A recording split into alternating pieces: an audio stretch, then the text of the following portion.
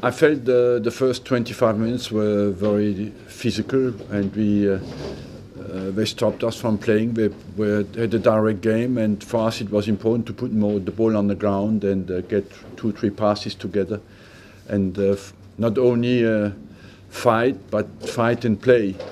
And in the second half we did that much better, and uh, at the moment we did fight and play. Uh, we looked always in control in the second half until they came back to 2-1. Then you never know, but it looked that uh, Green had a good game and kept them in the game at 2 0. We had, uh, we had a few more chances. It's good to see Alexis score again, Arsene.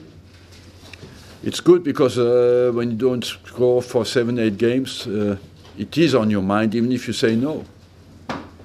But uh, he took his chance well, and uh, yes, he's tricky and a short back lift and scored a good goal he seemed to get even more desire to score after he slightly you know, messed up shortly before. Is that, is that kind of the typical mark of him? He never gives up, and uh, that's strength of a good striker as well.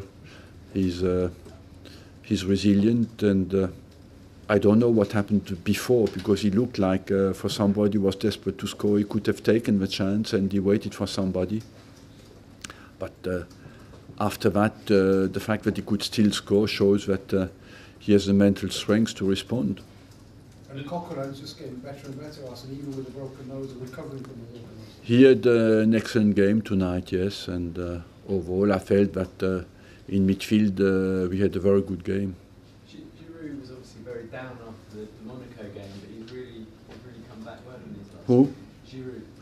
Yes, we were all down after the Monaco game and uh, we responded well against Everton. And again, today, uh, I think uh, with the confidence we got against Everton paid off tonight.